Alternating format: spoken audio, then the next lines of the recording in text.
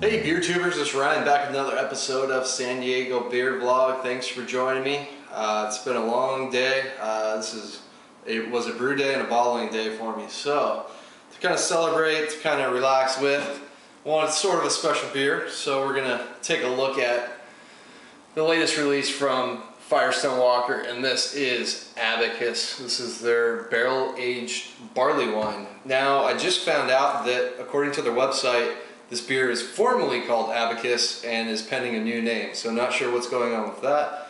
But it's a 13% alcohol by volume barley wine. It's been barrel aged. Um, there's a lot of good info on the front of the bottle. Um, they're using a British yeast.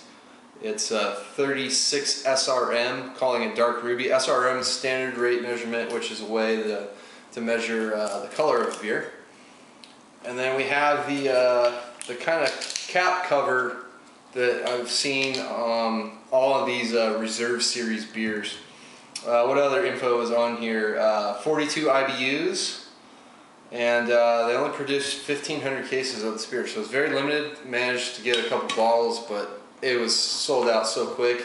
And a lot of uh, places I went were, uh, were limiting this to one or two bottles a person, so very fortunate to get it get this thing poured. Let's go down the middle because it's 13%.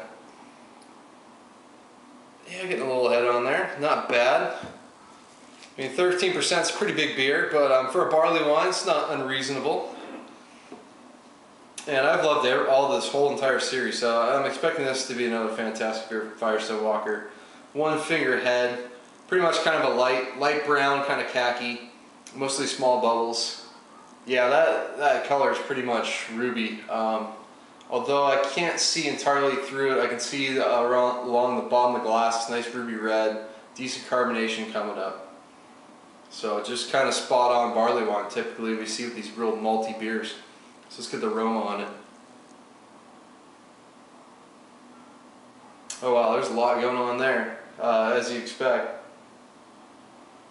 Mmm, man, like uh, vanilla, uh, dark fruits, big time raisins, plum. There's um, there's some alcohol in there. Caramel notes, big time caramel notes. I mean, that's something you usually get on, on barley wines. Uh, man, just, it's one of those beers that you just sit down with and just start picking it apart. I mean, you get yeah. I mean, you get barrel characters. Um, they don't say what barrels. I believe it's a combination of uh, a few different ones. So they say barrels. It's not like just bourbon. Um, could be bourbon. Could be brandy. Could be just flat out oak. Not entirely sure with this one. Yeah, with the British yeast strains, they a lot of times have big kind of fruity esters, and you get you get kind of the, that character on this beer as well. It's just combination of malt and yeast just big time uh, dark fruits. One of the characters apparently I missed with the Firestone Walker was a toasted coconut, which is definitely a barrel characteristic. Do get a little bit of this, um, but mostly the oak comes through the more I get that kind of really nice earthy wood character on this beer. So as this head is now faded away, I'm going to dig in. I'm probably drinking this at about 55 degrees right now, maybe heading towards 60. So cheers.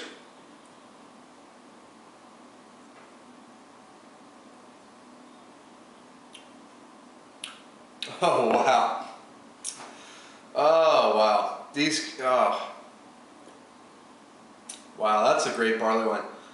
Um, it's warming like down your throat, but there's like no alcohol character until the absolute very end. Mass so well. It's so smooth.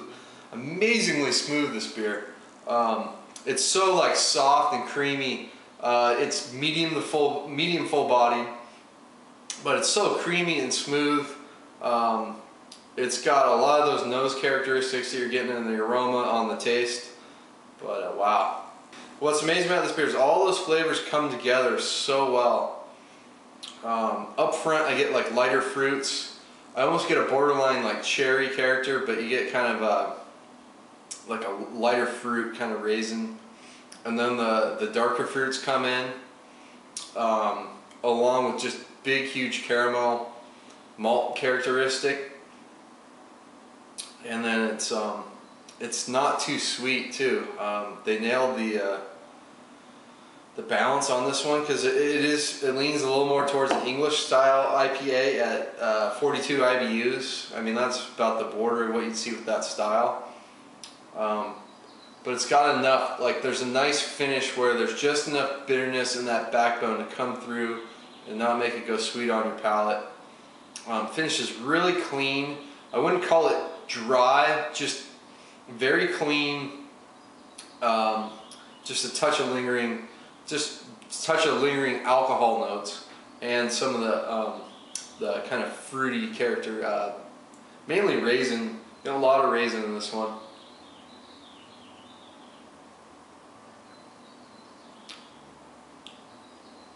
And then to say that the the fig character actually is coming out a lot more. Yeah, fig, caramel fig.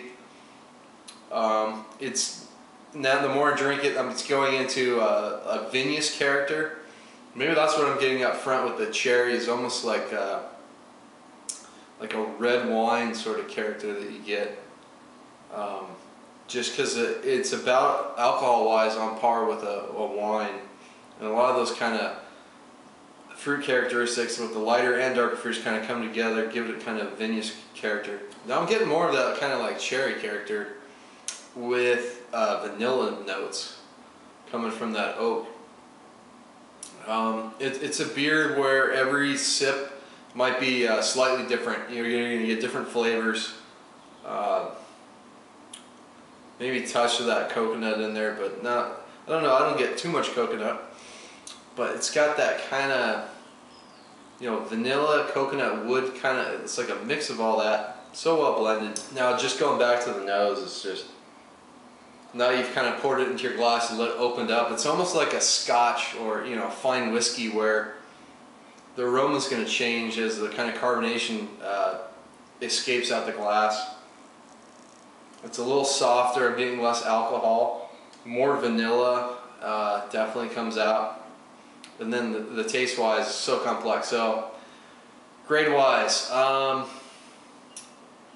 I'm gonna go A plus on this one. It's it's one of the best barley wines I've ever had. I would put this up there with what from I, am not a huge and I'm not a huge barley wine fan, but I'm gonna throw this one up there with the likes of. Uh, I, I it's it's a it's a really limited beer, but Stone Stonewall is one of the best barley wines I've ever had. Weyerbacher's Insanity's, a fantastic uh, barley wine age on oak. Um, trying to think some of the other really nice ones I've had um, that are more like in the British style, not the American style. I mean, can't, you can't compare this to a Sierra Nevada Bigfoot or a Stone Old Guardian or any of those kind of hoppy West Coast American style barley wines. This one's got to be more English. Guys at Firestone Walker, up in uh, Paso. Man, I got to go up to Paso because uh, I got to check the place out. Uh, unbelievable beers from them. Another absolute winner in their proprietary series. I think that's about it. As far as I know, they're going to release in the proprietary series. It's going to be Abacus, Parabola, and then their uh, Porter, and then whatever anniversary beer they're doing. So, really looking forward to their uh, summer seasonal coming out. Sol Solace pretty soon. So. Until next time, please comment, subscribe. Cheers.